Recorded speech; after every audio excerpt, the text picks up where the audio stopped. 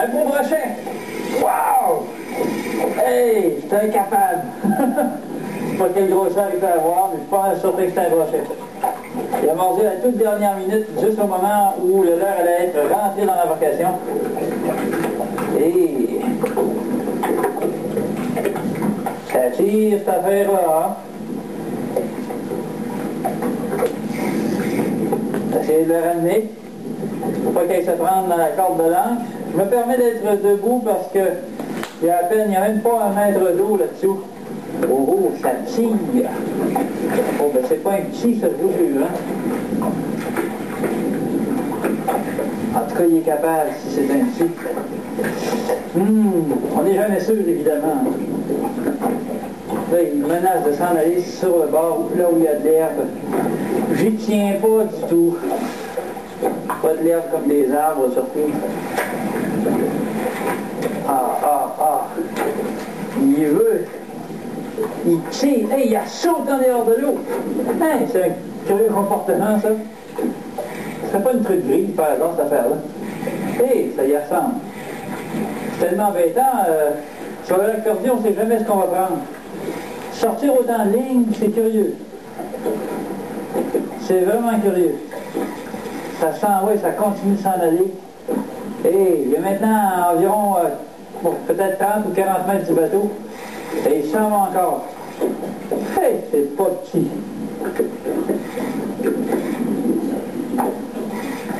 Hey, c'est pas croyable. Je sais pas ce que c'est.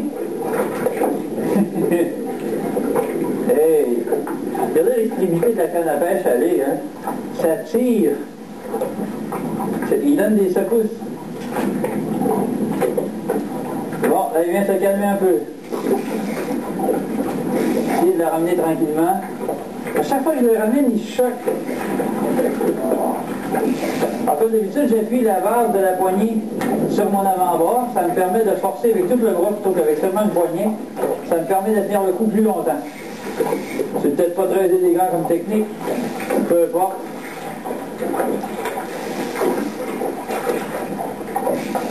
Ah, wow! C'est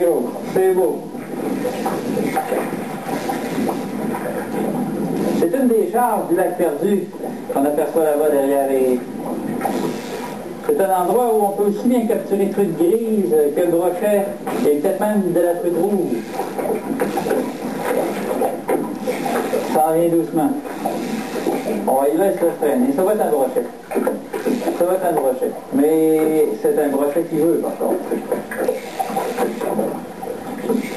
Un brochet de cette année certain, pas un petit nouveau. Je pense que je vais arriver à faire monter à la surface. Il s'en vient. Il se laisse monter. Oups, non, il a plus. Il plus, il s'en retourne encore. Ça y est. Panique encore un coup. Hey, c'est drôlement agréable, je vous jure.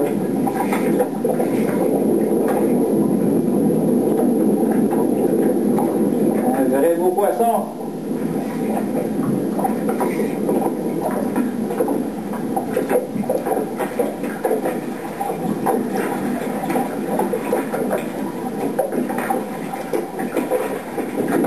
Il tient le coup, il tient le coup.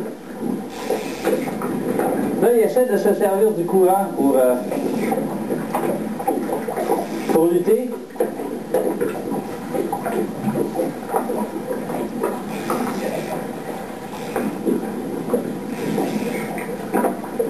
Il tient le fond, hein. c'est curieux comme il tient le fond.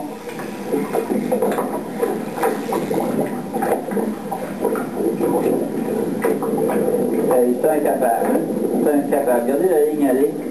Il est sûr de lui. Il sait qu'il est gros. Il sait qu'il n'y a pas beaucoup d'ennemis.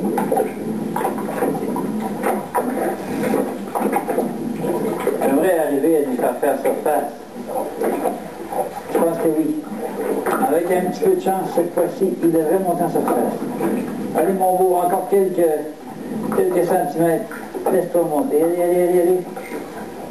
Viens voir un peu qu'on voit de quoi t'as l'air. On voit en avait un petit bouillon qu'il a fait là. On a donc une idée de sa position. Des bulles, c'est une truite grise. En voyant les bulles, c'était sûr que c'était une truite grise.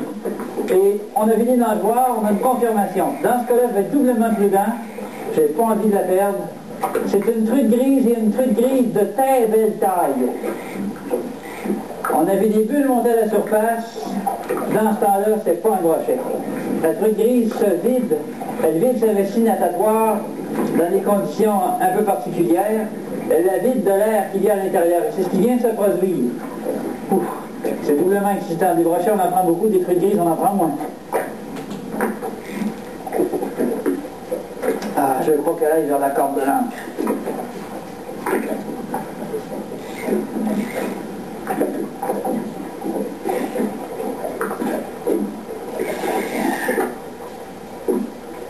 Et c'est énervant, quelque chose de rare.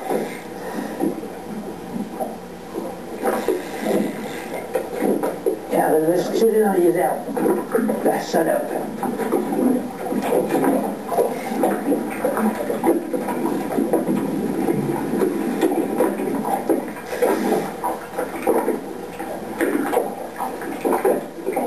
Oh, qu'elle est belle.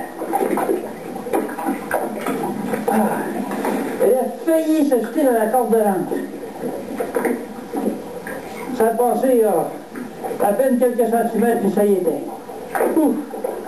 Ce que le cœur d'un pêcheur débat. Hey, une superbe truite grise. J'ose pas mettre de poids, mais pas très loin des 5 kilos, c'est-à-dire autour de 10 livres. À première vue du moins.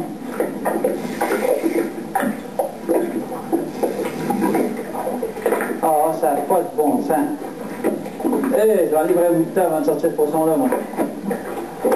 Le pire, c'est qu'elle menace toujours d'aller du côté de l'angle. Je peux pas la laisser aller de ce côté-là.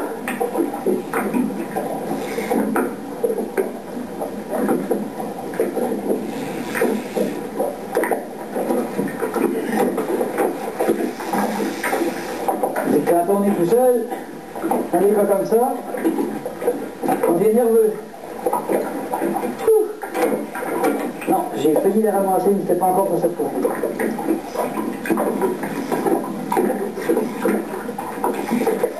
Elle a pris de la corde. La corde, c'est-à-dire encore une fois. Et je vous avoue que c'est moi des conditions idéales. hein. Une corde d'encre aux alentours et une forêt derrière. Pour une capture comme celle-là, comme celle-là, c'est-à-dire c'est drôlement énervant. Elle donne des coups de tête maintenant. C'est généralement quand elle des coups de tête qu'on.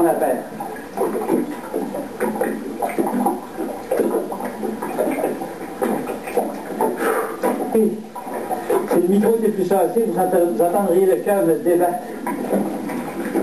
Hé, qu'elle est grosse! Ah! C'est au moins bien plus que 5 kilos, bien plus que 10 livres. Oh là! Regardez ça! Regardez ça! Hey, tu parles d'un poisson!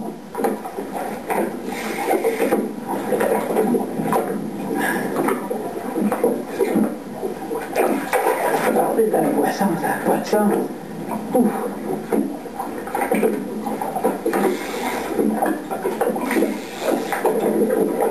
Oh, c'est beau, c'est beau. Elle a refait des bulles encore. Et ça y est, elle est dans la piste. Est belle construite grise. Ah! Hey, regardez-moi ça. On peut pas demander mieux. Hey, regardez-moi ce poisson. Une superbe truite grise, la perdue au nord du 50e parallèle. Et au moment où je l'ai embarqué dans la piste, elle a perdu la cuillère, s'est détachée. Eh ben, hey, ça c'est un poisson. Eh, donc je pourrais parler longtemps. Et regardez-moi la grosseur de ce poisson-là. C'est pas croyable. C'est pas croyable. Ah, j'en reviens pas. C'est drôlement agréable la pêche. Hein? Hey, super. J'ai aucune idée de ce que ça pèse. Je sors de là, je la pèse et je reviens. Fois pesé, on obtient un beau 13 livres, c'est-à-dire environ 6 kilos. 6 kilos de truite grise. Un superbe poisson. Et euh, dois-je vous l'avouer, ça paraît déjà beaucoup, je pense. Je suis drôlement content de l'avoir capturé.